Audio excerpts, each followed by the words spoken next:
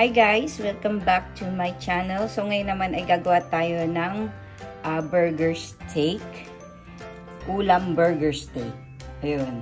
So, itatry natin makuha ang lasa ng Jollibee burger steak. Wish ko lang. Ayun. So, meron tayong uh, burger patty. So, CDO brand pong pinili ko. Ayan. Then, we have uh, pepper. Ito, uh, beef cubes. Pero, portion lang pong kukunin ko para di ganun kaalat. Then, butter. 1 tablespoon po siguro or bas konti lang. Hindi ko kailangan ng marami. Okay, then we have uh, onion powder instead of uh, onion para hindi na masyadong ano sa pagmuya natin. Then we have mushroom. Ayan. So, canned mushroom. So, dinrain ko na po yan. Then, we have uh, 1 tablespoon of flour. Then, we have uh, soy sauce. So, konti lang, pang kulay lang. Then, water. Okay, so mag-a-adjust na lang tayo sa uh, lapot niya mamaya. Okay, so simple lang. So, ipiprito lang natin tong uh, burger patties. Kasi pinost ko to dati sa Facebook. May nag-comment sa akin na daw recipe nung paggawa ng parang burger steak. So, nilagay ko kasi burger steak ala Jollibee. Ayan, hindi naman natin kopyang-kopya, pero kahit pa paano pwede na. Ayan, so, yan lang naman. Madali lang naman siya, guys. Ayan. Okay, so, iprito na po natin.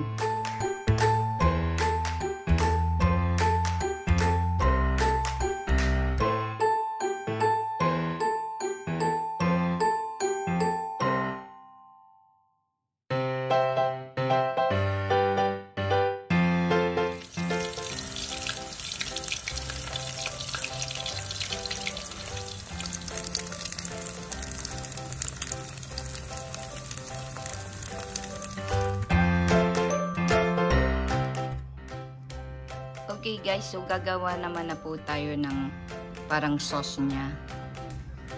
So madali lang siya. So kung saan po kayo nagprito, wala na kung non-stick pan naman ang gamit nyo, ay mas maganda. Ako kasi wala akong non-stick. Okay, so tinanggal ko lang yung medyo burnt part. Pero carry lang yan. So binawasan ko lang siya ng oil dahil lalagyan natin siya ng butter. Tulog na natin yung flour.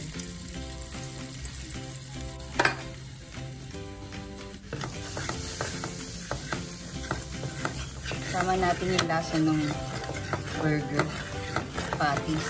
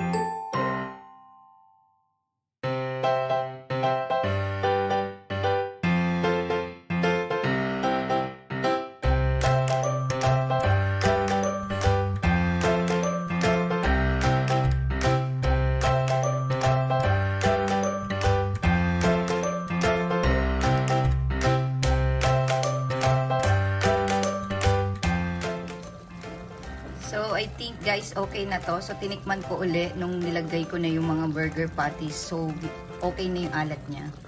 Ayan. So, mag-adjust na lang po kayo, okay? So, patay na natin. Para hindi masyadong lumapot. Okay guys, so ito na ang ating simple ulam burger steak ala Jollibee. Wow! Ayan, hope you like this video. So this is just a very simple uh, recipe. So, para mas uh, umangat pa ang ating mga ulam burger patty. So, gawin nyo to sa mga anak ninyo at tsak magugustuhan po nila.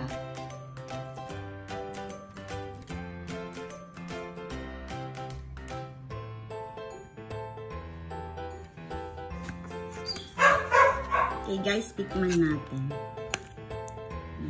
Hindi natin ang sauce.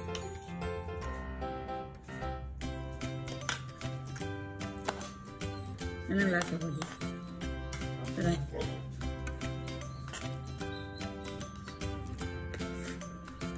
Hmm.